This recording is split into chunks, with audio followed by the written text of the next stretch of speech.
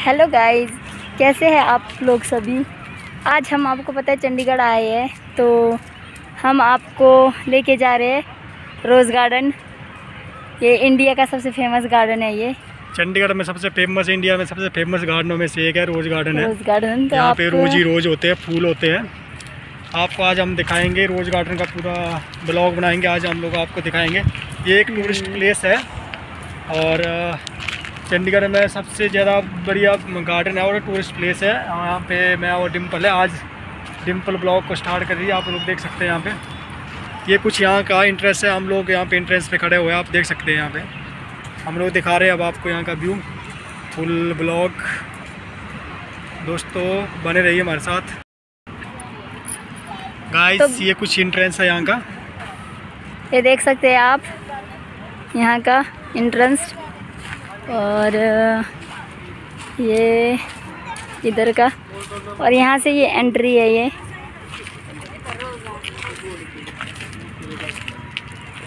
तो देख सकते हैं आप यहाँ पे स्टार्टिंग में ही देखिए यहाँ पे कितना सुंदर फूल है ये।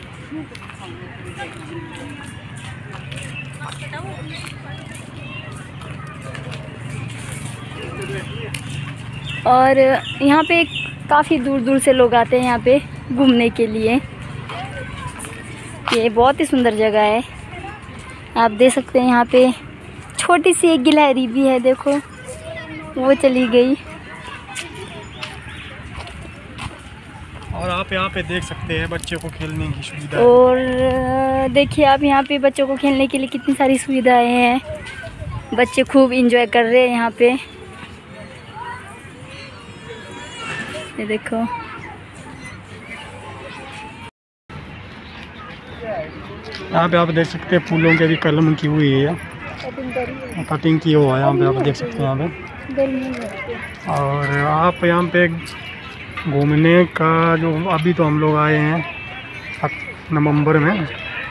बट आप यहाँ पे गर्मी के टाइम में इसका खूब लुत्फ उठा सकते हैं यहाँ पे। उस टाइम फूल ही फूल होते हैं यहाँ पे। आप यहाँ पे देख पा रहे हैं। और टूरिस्ट प्लेस है, बहुत सारे लोग हैं। यहाँ पे आए हुए घूमने।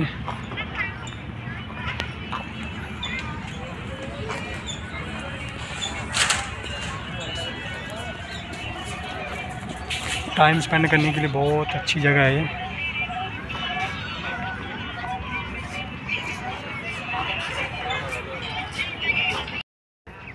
अभी तो यहाँ पे कोई भी फूल दिखाई नहीं दे रहा है, क्योंकि सारे फूल्स की सॉरी फूल्स नहीं, सारे जो है फ्लावर की यहाँ पे कटिंग हो गई है, कलम हो चुकी है, क्योंकि अभी ठंड का टाइम है।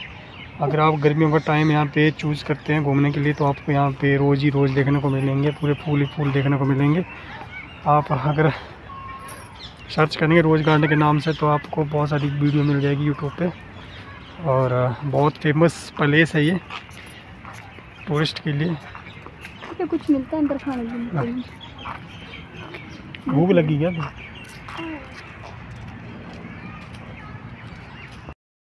आप यहाँ पे देख सकते हैं हम लोगों ने लस्सी लिया है। और अभी हम लोग लस्सी पी रहे हैं क्योंकि यहाँ पे पानी नहीं मिला हमारे को पीने के लिए प्यास लगी हुई थी। यहाँ पे आपको रोज़ तो दिखाई दे नहीं रहे बट हम लोग ने सोचा कि हम लोग चंडीगढ़ में आए तो हम लोग थोड़ा सा इसको कवर कर लें, आपके लिए एक हमने थोड़ा कवर इसको कवर करने की कोशिश की है, रोज़ गार्डन को। तो दोस्तों वीडियो को एंड तक देखना। अगर वीडियो अच्छी लगती है तो वीडियो को लाइक एंड शेयर करना और चैनल को सब्सक्राइब करना ना भूलना।